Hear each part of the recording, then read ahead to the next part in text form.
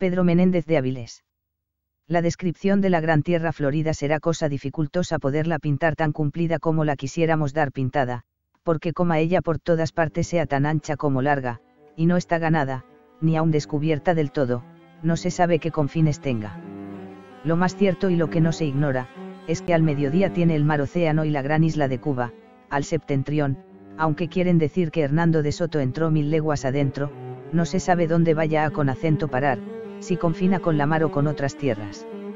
Al levante, viene a con acento descabezar con la tierra que llaman de los bacallaos, aunque cierto cosmógrafo francés pone otra grandísima provincia en medio, que llama Nueva Francia, Pourtine en ella si quiere el nombre. Al poniente, confina con las provincias de las siete ciudades, que llamaron así sus descubridores de aquellas tierras, los cuales, habiendo salido de México por orden del virrey de Antonio de Mendoza, las descubrieron año de 1539, llevando por capitana con acento Juan Vázquez Coronado, vecino de la dicha ciudad. Garcilaso de la Vega. El personaje.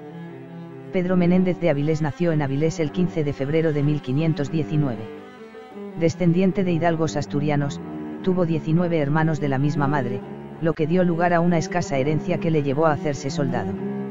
El contexto histórico de la vida de don Pedro se enlaza con la época de los conflictos religiosos en Europa, la reforma luterana y los conflictos permanentes contra Francia.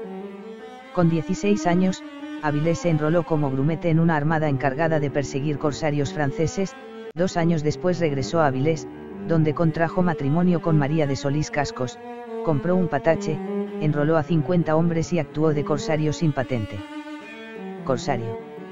En 1539, con solo 20 años, Menéndez navegaba en aguas de la ría de Vigo, cuando una pequeña escuadra francesa de cuatro barcos, una nao y tres zabras apresó tres barcos españoles con un cortejo nupcial en el que estaba la novia con 60 parientes y amigos, que se dirigían a la ciudad para celebrar la boda.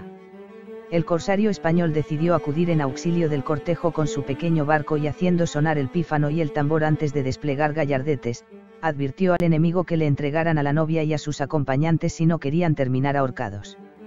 Pero las zabras, sabiéndose superiores en número, hicieron caso omiso de la advertencia.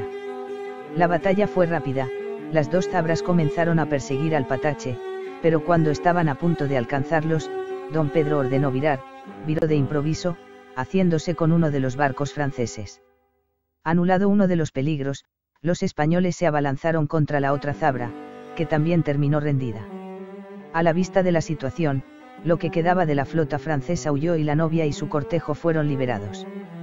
Carecía de formación militar y náutica teórica, pero aprendió a leer las nubes, los vientos, las estrellas, los cambios del tiempo, las puestas del sol, los vuelos de las aves y todo lo que un hombre de mar debe conocer, lo que, unido a su valentía, arrojo, decisión, dotes de mando y claridad de ideas, hizo de él un hombre excepcional en su oficio. Marcelino González Fernández, capitán de navío. Luchando contra los piratas. En 1546, el corsario Jan Alphonse Intaño, más conocido por los españoles como Juan Alfonso Francés, aprovechó una tregua hispano-francesa para capturar, a la altura del Cabo Finisterre, 18 embarcaciones vizcaínas, llevando sus presas al puerto francés de La Rochela. Por encargo del archiduque Maximiliano, Menéndez de Avilés persiguió al pirata desde Belle hasta La Rochela, recuperando cinco de los barcos y abordando a la capitana pirata Lemarí. Don Pedro hirió personalmente al mismo pirata, que moriría a consecuencia de las heridas. Pasado el tiempo, Juan Antonio Alfonso, hijo del corsario anterior, decidió vengar la muerte de su padre. Al tener noticias de que Menéndez salía para América, lo esperó con tres barcos en las Canarias, lo que dio lugar a un combate en Santa Cruz de Tenerife en el que una bala de cañón mató a Alfonso y donde don Pedro hundió su barco y apresó los otros dos. Tras aquel éxito, Carlos I le autorizó a continuar persiguiendo piratas de las costas cantábricas y gallegas, concediéndole la primera patente oficial de corso. En 1550, una segunda patente le permitió perseguir corsarios en las Indias. Allí cayó en manos corsarias, y, mientras se negociaba el rescate, se enteró de los planes de Francia para atacar las Indias, alertando a la corte y presentando un memorial y un plan de defensa estratégica al Consejo de Indias.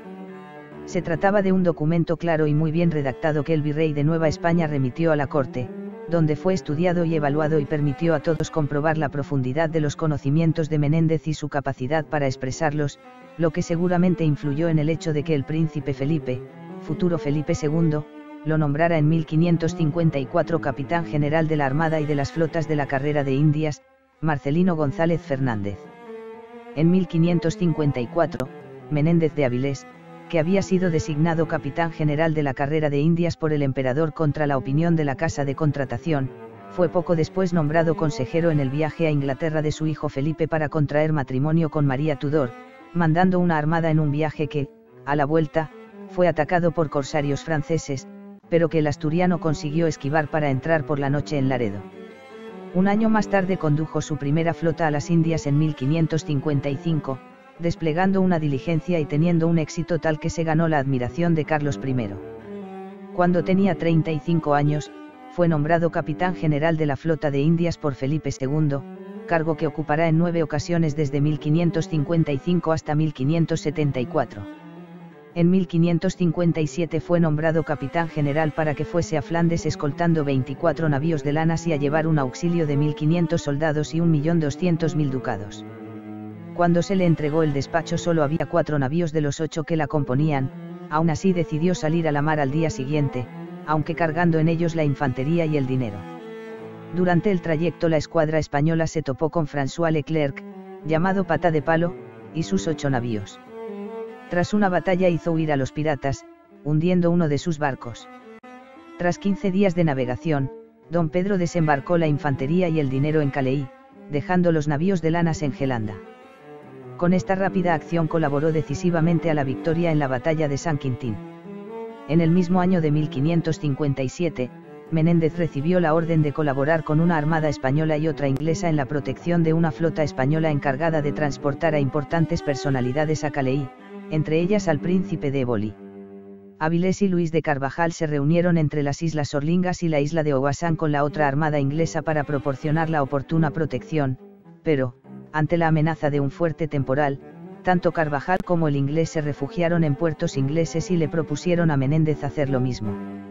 El asturiano rehusó, pues esperaba que en breve aparecieran en el horizonte los barcos del príncipe de Eboli, y se quedó en la mar y al poco tiempo apareció una flota de más 80 barcos al mando de Diego de Mendoza. Al ver que la situación meteorológica empeoraba, surgieron discusiones entre los pilotos de Mendoza y los de Menéndez y al final se estableció entrar en puerto, pero al intentar llegar se encontraron con que estaba cerrado con cadenas y que el alcalde se negaba a abrirlas, de modo que don Pedro ordenó que se preparara alguno de los barcos más fuertes para lanzarlo contra las cadenas e intentar romperlas, pero no fue necesario, el propio Menéndez pasó a tierra en una lancha y con gran arrojo. Forzó los mecanismos y logró largar las cadenas. La Florida. Cuando desapareció el barco en el que iba su hijo en algún lugar de la costa de la Florida en 1561, Menéndez se dispuso a ir en su busca. Entonces fue detenido por la Casa de la Contratación de Sevilla junto con su hermano, el también marino Bartolomé Menéndez de Avilés. Los dos hermanos estuvieron encarcelados dos años por razones poco claras, hasta que logra salir apelando al rey, que hizo que lo juzgasen, siendo condenados los hermanos a pagar una exigua multa. En Sevilla, dio en la administración y en los oficiales de la Casa de Contratación con enemigos más temidos que los amotinados una vez fuera de la cárcel consiguió que le permitieran buscar a su hijo bajo la condición de que debería explorar y colonizar la Florida. Así, el 20 de marzo de 1565, Felipe II le nombró adelantado a título hereditario, con la orden de expulsar a los protestantes franceses, conquistar y colonizar aquellas regiones, explorar la costa hacia el norte en busca de un estrecho que comunicase los océanos Atlántico y Pacífico y llevar misioneros para evangelizar a los nativos. Para tal misión, el avilesino organizó una flota en los puertos de Cádiz, Gijón, Avilés y Santander. La escuadra constaba de 26 barcos y 2.646 personas. Bartolomé Menéndez de Avilés salió de Cádiz el 28 de julio de 1565, realizando un viaje cargado de dificultades, en mitad del Atlántico, la flota fue sorprendida por un temporal, la capitana, el San Pelayo, y un Patax consiguieron alcanzar Puerto Rico, aunque en muy precarias condiciones, y dos días después, llegarían a la isla otros cinco buques en parecido estado. Allí, Menéndez embarcó más hombres y diverso material, dirigiéndose sin más escalas a la Florida y alcanzando por fin sus costas el 28 de agosto de 1565. El genio del asturiano, sin adiestramiento naval de ningún tipo, se curtió a golpe de experiencia en la carrera de Indias, uno de los grandes hitos logísticos del siglo XVI, César Cervera Moreno. San Agustín es el asentamiento europeo más antiguo ocupado hasta la actualidad en los Estados Unidos. Los españoles exploraron la zona en sendas expediciones entre 1513 y 1563, dirigidas por diversos conquistadores, Juan Ponce de León en 1513, Lucas Vázquez de Ailón en 1526, Pánfilo de Narváez en 1527 y Hernando de Soto en 1539, entre otros, pero todas sin llegar a levantar ninguna fortificación estable. Por parte francesa, el hugonote, René Goulaine de Laudonniere fundó en 1564 el fuerte Fort Caroline, actual Jacksonville, en la desembocadura del río San Juan. Como se retrasaba el envío de provisiones desde Francia, la colonia experimentó una escasez de alimentos que provocó el amotinamiento de algunos soldados que se convertirían en piratas que atacarían a los navíos españoles en el Caribe. El nuevo adelantado de la Florida llegó a finales de agosto de 1565 a la costa americana, donde avistaron a unos indios que les advirtieron que los hugonotes estaban a unas 20 leguas al norte. Continuando su trayecto, Avilés y sus hombres descubrieron a ocho leguas un puerto natural, con buena ribera, al que el asturiano dio el nombre de San Agustín, santo del día que avistaron Florida. Era el 4 de septiembre de 1565 cuando, siguiendo la dirección indicada por los indígenas, avistaron cuatro grandes galeones franceses fondeados a la entrada del río San Juan, cerca de Fort Caroline. A medianoche, los barcos españoles atacaron al enemigo, haciéndoles huir a mar abierto. Al no poder darles alcance, los españoles regresaron a San Agustín, tomando posesión de aquellas tierras el día 8 de septiembre en nombre del rey de España y fundando la que a día de hoy se reconoce como la ciudad más antigua de los Estados Unidos. No pasó mucho tiempo para que arribaran a San Agustín cuatro galeones y dos pinazas franceses con 600 hombres a bordo y fuerte artillería, pero se desencadenó una tormenta que les obligó a buscar refugio. Sospechando que la flotilla pirata no podría regresar a Fort Caroline por culpa del temporal, Menéndez pensó atacar por tierra, y el día 16 se puso en marcha al frente de 500 soldados. Después de cuatro días de fatigosa marcha, al amanecer, los españoles sorprendieron a los centinelas y tomaron Fort Caroline. El alcalde de la fortaleza y otros 60 hugonotes escaparon a la selva, los demás, unos 142, fueron degollados, salvándose únicamente las mujeres, los niños y los que se declararon católicos, unos 70 en total el fuerte conquistado fue rebautizado como San Mateo. Temiendo que en su ausencia el grueso de la fuerza pirata atacase San Agustín, Menéndez emprendió el regreso. Días después de su llegada, supo por los nativos que los franceses habían naufragado al sur.